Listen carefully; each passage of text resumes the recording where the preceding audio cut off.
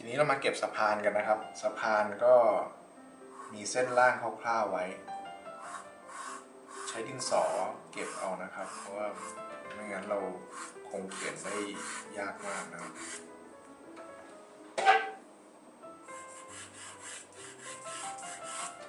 ก็ค่อยลากแต่งๆไปนะครับ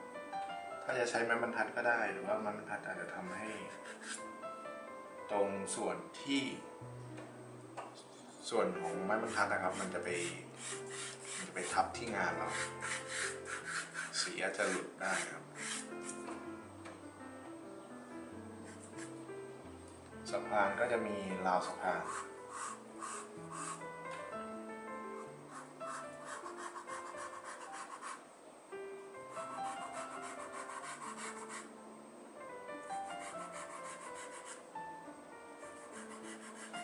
ค่อยลากทีละนิดนะครับ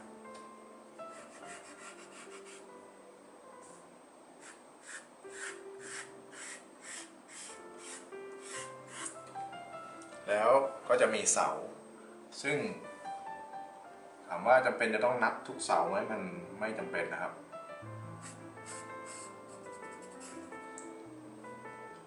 ตัวบ้านริมน้ำเนี่ยจะอยู่ด้านหลังสะพาน เพราะนั้นเสาเนี่ยต้องอยู่ ตี้ยลงมาอย่างนี้นะครับ ลงไปเรื่อยๆครับ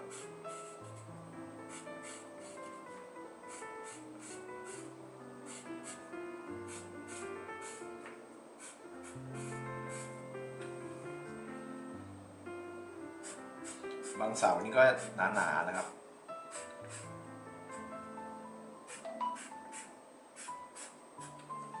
เดินไปเรื่อยๆ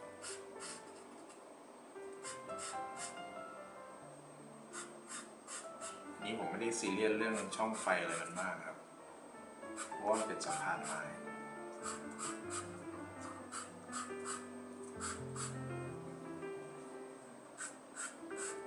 ก็จะมีการแบบเสริมเหมือนเป็นเสาที่เสริมเข้าไปอาจจะมีการซ่อมแซม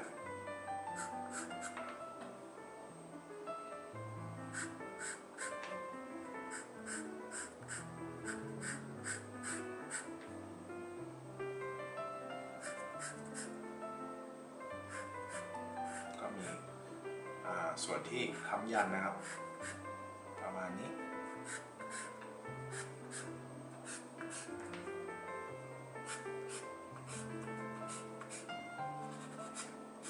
อย่างที่บอกไปตอนต้นแล้วนะครับว่าสีพาสเทลเนี่ยมัน เมื่อวาดเสร็จเนี่ยส่วนใหญ่เขาจะใส่กรอบกัน เพราะฉะนั้นเวลาการเก็บรักษาถ้าไม่ได้ใส่กรอบก็จะลำบากหน่อย แต่เป็นสีที่วาดได้สะดวกมากครับ เพราะว่าอย่างคลิปนี้นี่ผมใช้เวลาไม่น่าถึง 1 ชั่วโมงนะครับในการวาดรูปนี้ขึ้นมา หรือใครจะไปใช้สเก็ตคร่าวๆก็ได้นะครับ เวลาเราไปเที่ยวหรือว่าไปอะไรเงี้ยมันก็สามารถหยิบจับใช้ได้เลย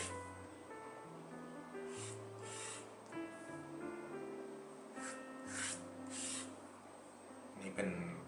เสาที่พาดกลางนะ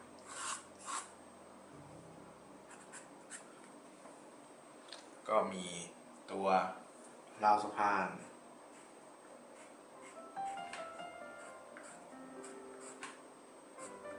เติมไปตามแนวยาวเรื่อยๆนะครับ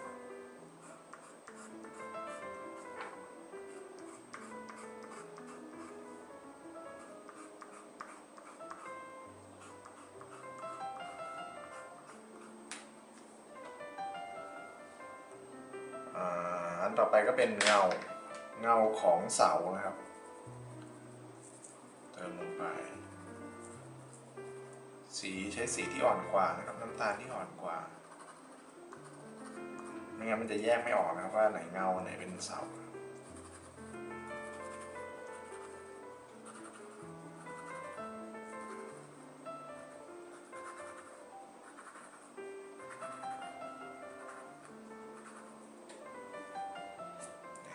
นี้ก็จะเป็นหน้าตาของการทำงานสี